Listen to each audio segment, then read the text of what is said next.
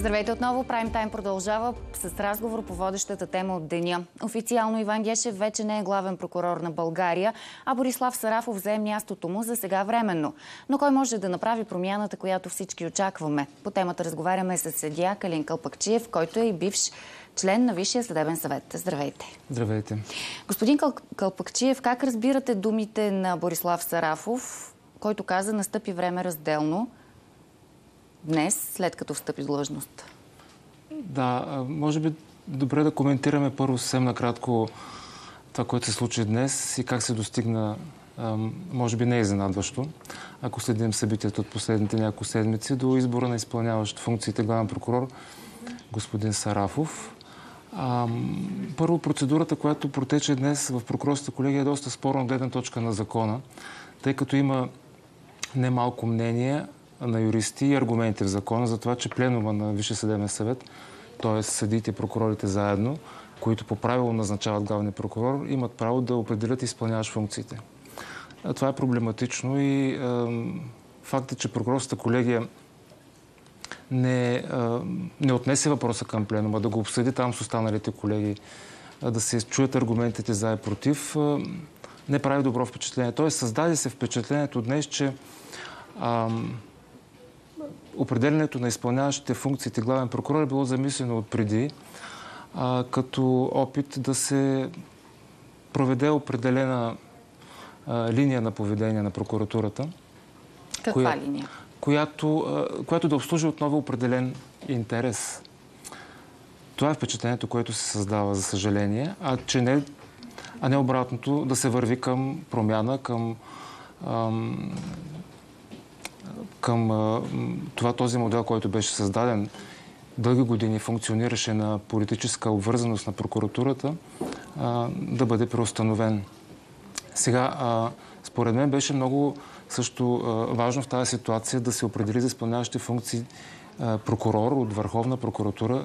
Там има много достойни прокурори, който не е обвързан по никакъв начин с кръга около вече бившия главен прокурор. А може ли изпълняващия длъжността главен прокурор да не е един от заместниците да, възможно на отстранения? Е. Възможно е, независимо, че в закона а, е посочен на така, хипотеза, която се отнася до другите ръководители в прокуратурата, не до главния прокурор, в която при пресрочно прекратяване се определя един от заместниците да изпълняваш функциите. Това първо, че не въжи за главния прокурор а, пряко и директно. Второ, е въпрос наистина на дискреция, с която а, в случая разполага. Защото ние имаме пример от а, такива големи по мащаб скандали в съдебната система, които касаят съда, впрочем, а, когато, примерно, спомняте се след големия корупционен скандал в Софийски градски съд и устраняването на Владимира Янева.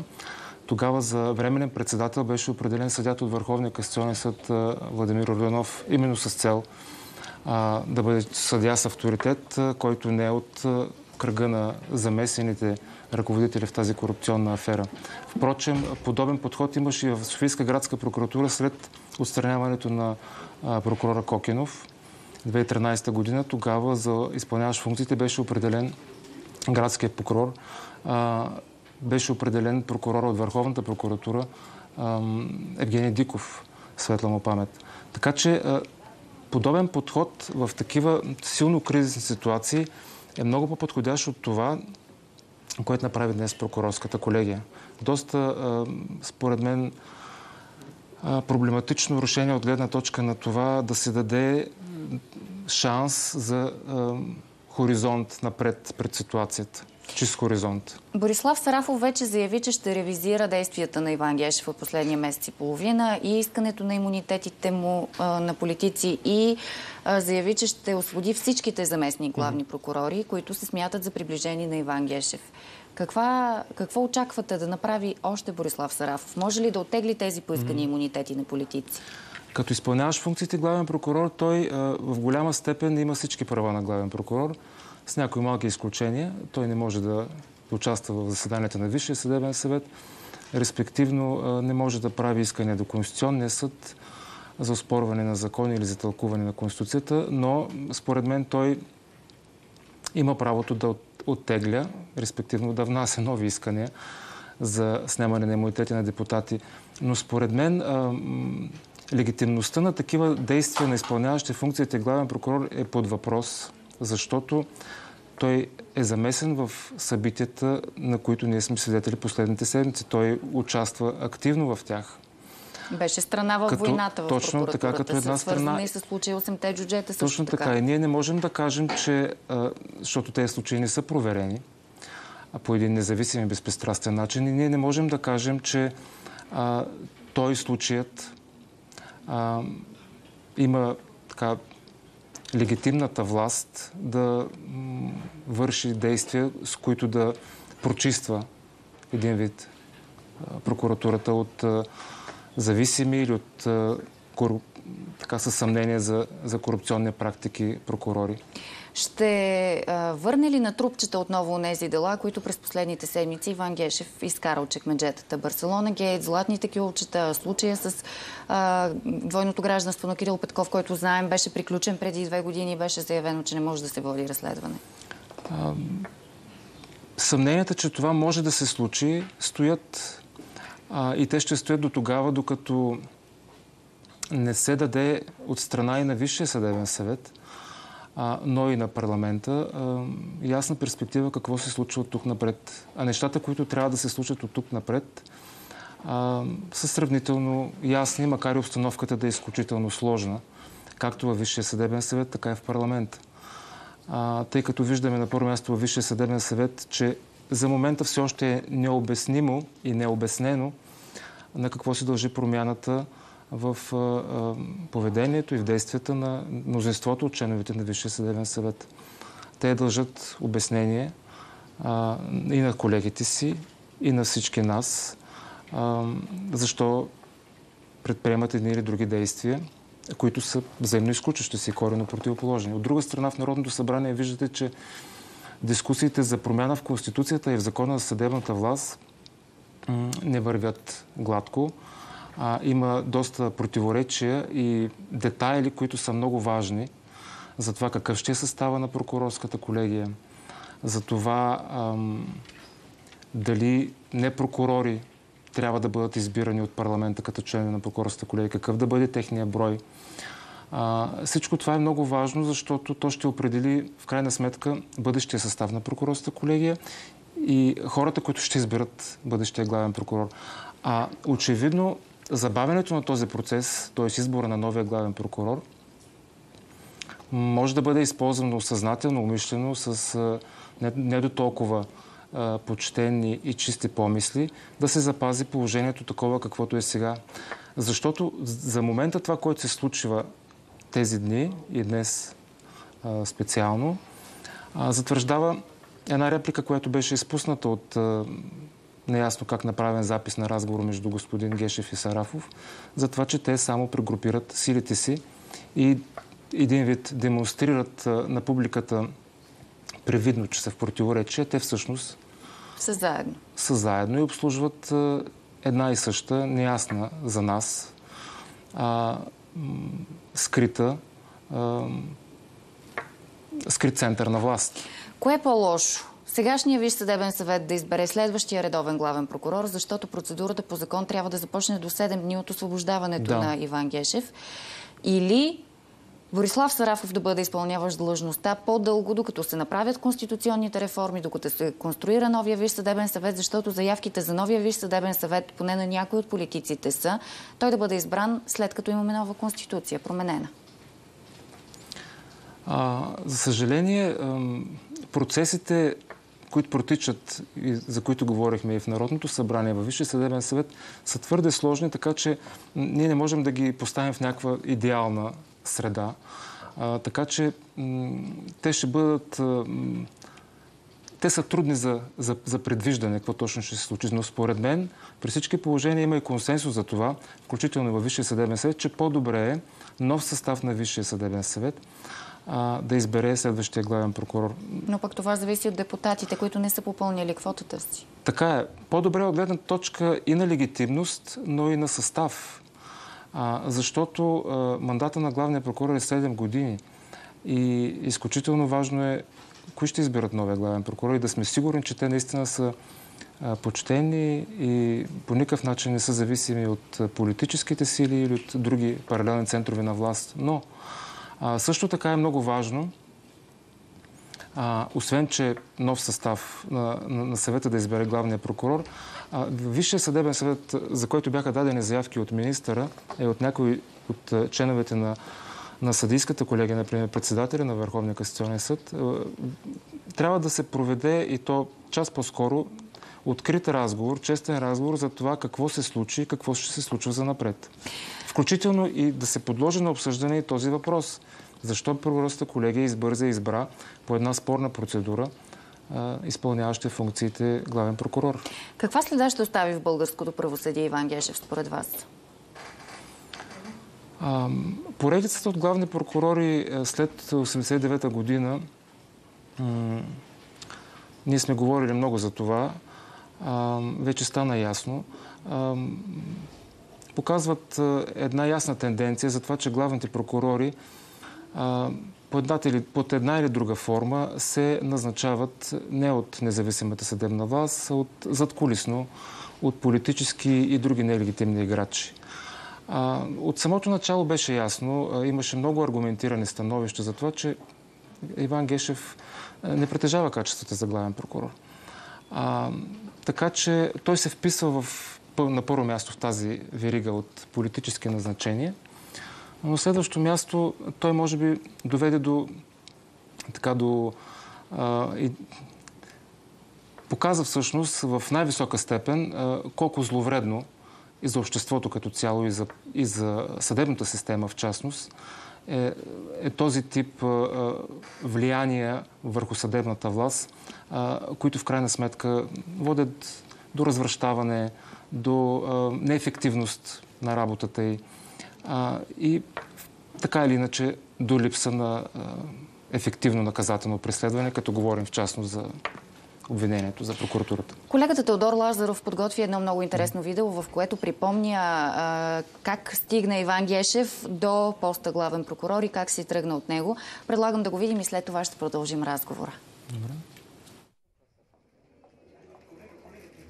Избран за главен прокурор след процедура, в която е единственият кандидат за поста. Иван Гешев стъпи в длъжност в края на 2019 година. Мандатът му влезе в историята още преди да започне, защото Гешев се оказа първият главен прокурор, чието указ за назначаване президентът отказа да подпише. Румен Радев подпечата документа от втория път, когато вече нямаше законово право да отлага. Издигането на един единствен кандидат не само, че е лиши от състезателност, но и отнема от престижа и легитимността на бъдещият главен прокурор – Именно накърнения престиж на съдебната власт, но по друга линия се оказа и причината за отстраняването на Гешев няколко години по-късно. А звездата на Гешев изгря с мега делото КТБ. По него той работи от две години, през които чрез специална заповед той бил изключен от разпределението на други дела, а преди да стане шеф на прокуратурата, Гешев бе началник на вече закритата специализирана прокуратура. Към момента продължавам 99% дори някой да ме предложи да не участвам в това състезание, което се очертава изключително мръсно и кално. И, а като се търкаляш кълта, няма как да не се отцапаш. Въпреки скептицизма, държавното обвинение демонстрира приемственост. Казвам ясно, че господин Гешев има моята подкрепа. Казвам ясно, че ще дам своя глас в подкрепа на господин Гешев. А Цацаров не бе единственият член на Висшия съдебен съвет на това мнение. След втори дебат с 20 на 4 гласа, кадровиците препотвърдиха избора на Гешев и последваха протести. И контрапротести. Гешев, законирек! Гешев, законирек! И само няколко месеца след като Гешев оглави прокуратурата.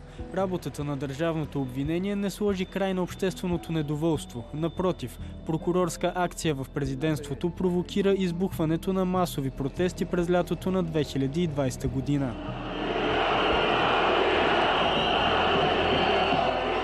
Хората излязоха на улицата не за друго, а защото искат да защитат президентската институция, която беше поругана и унизена от главния прокурор.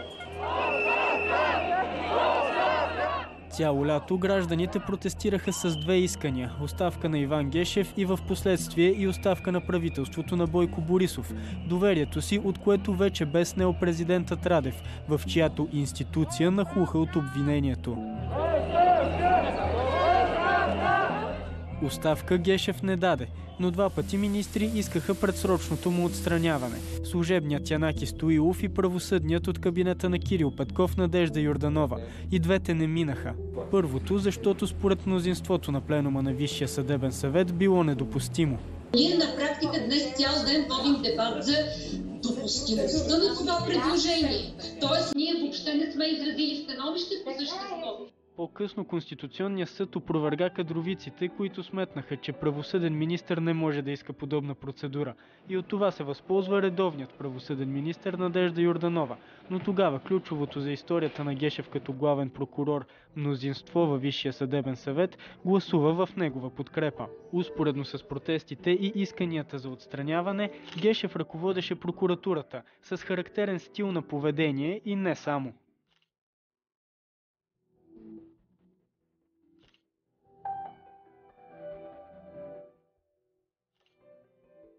Прокуратурата повдигна редица обвинения на хазартния бос Васил Бошков. Така и обаче не успя да го задържи, а на твърденията на Бошков за рекет от правителството на Борисов прокуратурата не обърна сериозно внимание. До момента в Софийска градска прокуратура са докладвани разпити на шестима свидетели, сред които и министър-председателят господин Кирил Петков. Неговият разпит е бил първото действие по разследване, което е образувано до съдебното производство.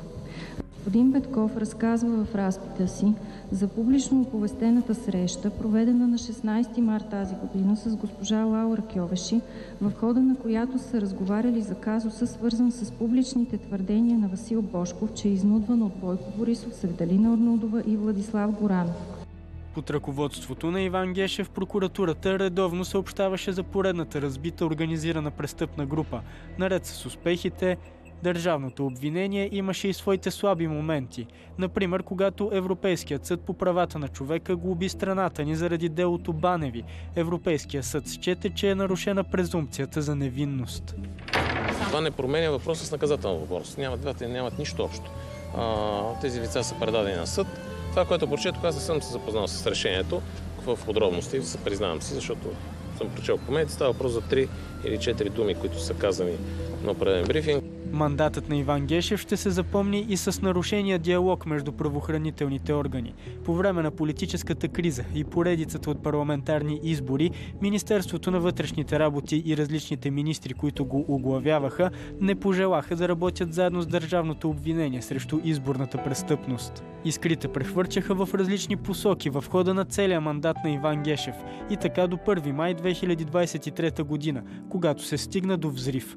Експлозия в близост до колата на главния прокурор, която ден по-късно провокира протест на прокурори в защита на Гешев. Искаме да покажем силата и единството на институцията прокуратура, за това сме се събрали тук. Дали взривът беше в резултат на експлозия на, както обявиха разследващите, 3 кг тротил, още не е изяснено.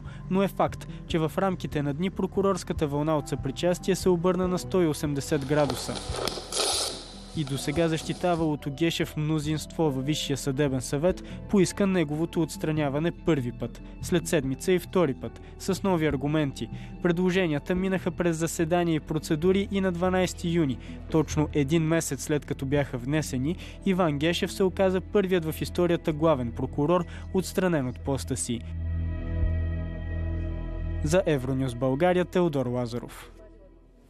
С съдия Калин Кълпакчиев изгледахме този много интересен материал на колегата Теодор Лазаров за ключовите моменти от мандата на Иван Гешев, недовършен като Половин главен мандат, прокурор. Да, да, много наситен. Да, но колко важно според вас за кариерното израстване на Иван Гешев в прокуратурата, още преди да стане главен прокурор се случва това, е делото КТБ?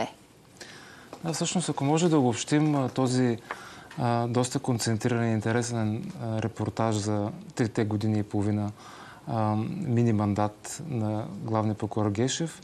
А, може с едно изречение, то беше казано на заседанието на Висшия съдебен съвет по разстраняването му, мисля, че пак ще цитирам председателя на Върховния касационен съд, а, а, ярка, груба злоупотреба с наказателния процес от прокуратурата със средства на наказателния процес на политическия терен, на политическото поле, което е наистина недопустимо, тъй като взривява самата функция на прокурора да бъде безпристрастен а, при разследването на престъпленията. Иначе делото КТБ толкова шумно промотирано, представено от тогава ръководителя на специализираната прокуратура Гешев, сякаш е водено и внесено в съда по начин, че то никога да не приключи. Тъй като свидетели сме през последните няколко години за това как а, изключително много а, отнапред ясни процесуални пречки съпътстват развитието на това дело. А, и за всеки юрист, който се занимава с наказателно право и процес, а, е съвсем ясно, не, не, не е сложно да се разбере, а, че това дело а, на първа инстанция дори няма да приключи години наред. А, освен това, начина по който публично бяха представени част от а, доказателствата избирателно, който беше патент на прокуратурата и в предишния мандат, но и на Гешев, а, сериозно ни съмнява до това доколко това разследване е било обективно, пълно и безпристрастно. Тоест, доколко са разследвани всички възможни а, линии на обвинението, всички лица, които са замесени по един или друг начин а, с това престъпление. Така че, за съжаление, едва ли ще сме свидетели скоро на края на този наказателен процес. За съжаление. А, а той е важен, тъй като а, по много причини а, сериозно засегна така или иначе обществения интерес, финансовата система на държавата, доверието на гражданите в банковата система а, и доведе до много последващи економически трусове за економиката и за обществото.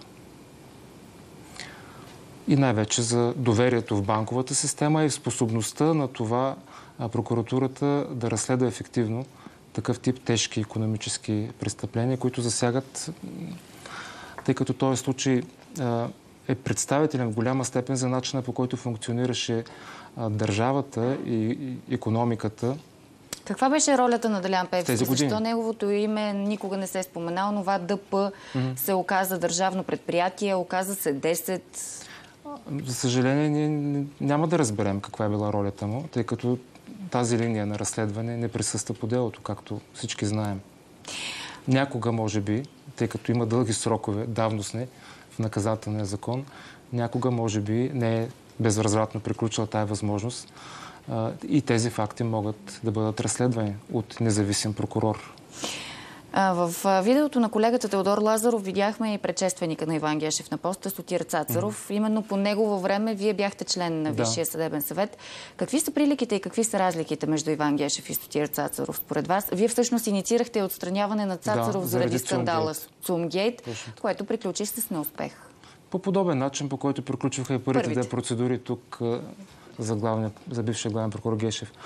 А, общите неща, аз преди малко в разговора казах съд начина по който се избираха главните прокурори. Помните репликата на прокурора Кокинов към Борисов, бившия премиер Борисов, ти си го избра. А, тук от а, разговора, който самия Гешев пусна между него и Стоев, става ясно, че и той е бил избран. И там има една друга реплика. Гешев пита Стоев, знаеш ли кой ще сложат след мен? Които да са те, очевидно тези, които са сложили и него, но не е Висшия съдебен съвет. Така че това е приликата. Иначе и двамата в някаква степен демонстрираха намесата на прокуратурата в политиката и в обществения живот по един неправомерен начин. Помните аферата Костин Брод. А, самата, а, самата, самия случай КТБ, за който говорихме, тогава ролята на прокуратурата за фалите на банката също а, не беше без значение. А, разликата е в, може би, по-софистицираният начин, по който главният прокурор Цацаров вършеше тези а, и представяше прокуратурата и вършеше тези не, не до там позволени от закона а, действия. Докато при, при главния прокурор Гешев, бившия главен прокурор Гешев, а, нещата бяха по по-груп начин, да кажем така, представени който позволи така да, да, да възприемем пряко, така без а, маска, а, механизмите на тези влияния и намеси от политическата власт към прокуратурата. Междувременно станаха ясни и първите вече политически реакции на избирането на Борислав Сарафов за изпълняващ длъжността. Продължаваме промяната. Демократична България са поискали той да напусне поста. В противен случай министърът на правосъдието ще предприеме необходимите действия. Пък Кирил Петков обяви, че се отказва от имунитета си. А, явно се е отказал да чака решението на тази конституционна комисия в парламента. Между другото, за нея какво мислите? Има ли нужда от такава неконституционна комисия, а комисия за имунитетите? За имунитетите? Да. Има ли нужда от такава комисия или тя се използва, за да бъде запазен някой? Очевидно в момента политическата конъюнктура е такава, че можем да правим тълкувания в, една, в едната и в другата посока. Но при всички положения е важно да знаем, че имунитета на народния представител е предвиден не в негов интерес, а в интерес на това той да упражнява функциите си като представител на избирателите си по един независим и е лишен от натиск и влияние начин. А, особено в тази ситуация, когато по този начин бяха поискани имунитетите а, с, с съмнение основателни за злоупотреба, според мен беше редно и това е правилен ход Народното събрание да направи комисия, която да проучи а, какви са материалите и тогава такава е парламентарната практика, впрочем, и в България преди години била и а, в а, Европейския парламент, а и други парламенти. Така че а, мисля, че